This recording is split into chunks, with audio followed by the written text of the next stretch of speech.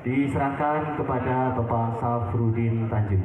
Silakan didokumentasikan. Beginilah suasana antusias warga di Kabupaten Pesawaran Lampung saat menghadiri acara peringatan satu tahun kembalinya tanah adat Tanjung Kemala Desa Taman Sari, Kecamatan Gedung Tataan Kabupaten Pesawaran, yang selama ini dikuasai PT PN 7W Berulu.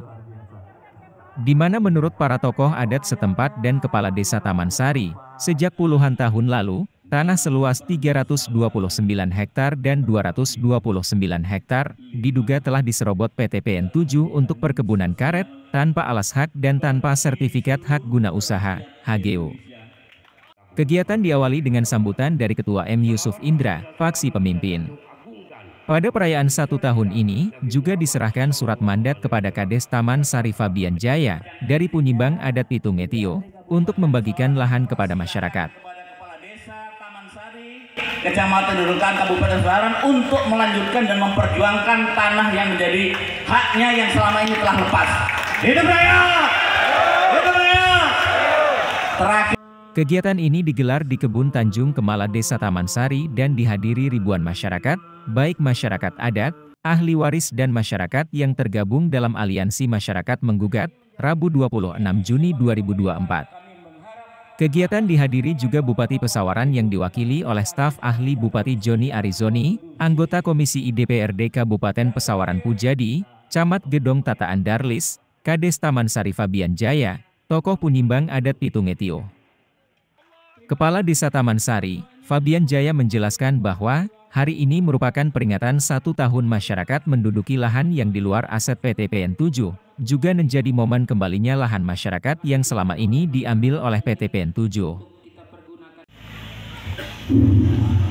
Puji syukur kehadirat Allah Subhanahu wa taala. Apa yang menjadi amanah dari ketua adat untuk membagikan tanah masyarakat adat ini? Insya Allah saya berharap juga bisa bekerja sama dengan panitia. Kita akan membagikan lahan ini untuk kepentingan rakyat dengan sebaik mungkin dan insya Allah seperti apa yang sudah kita canangkan dari awal maka akan terjadi lagi satu kota di Kabupaten Sawaran yaitu di Tanjung Gemala Selain itu, dalam peringatan ini juga diserahkan surat rekomendasi dari DPRD Pesawaran yang diwakilkan oleh anggota Komisi 1 DPRD Pesawaran Punjadi kepada Kepala Desa Taman Sari untuk segera membuat surat sporadik. Mewakili Bupati, staf ahli Joni Arizoni menyampaikan pesan agar semua elemen masyarakat tetap menjaga kondusivitas dengan digelarnya kegiatan ini, dan turut mendoakan apa yang menjadi hajat, segera terwujud.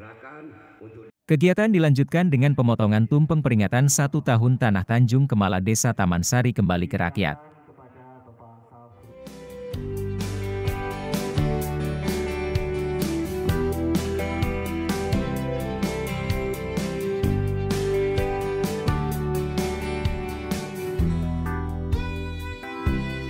Materi Pesawaran. Dari Kabupaten Pesawaran Lampung, Darmawan bersama Sufiawan melaporkan.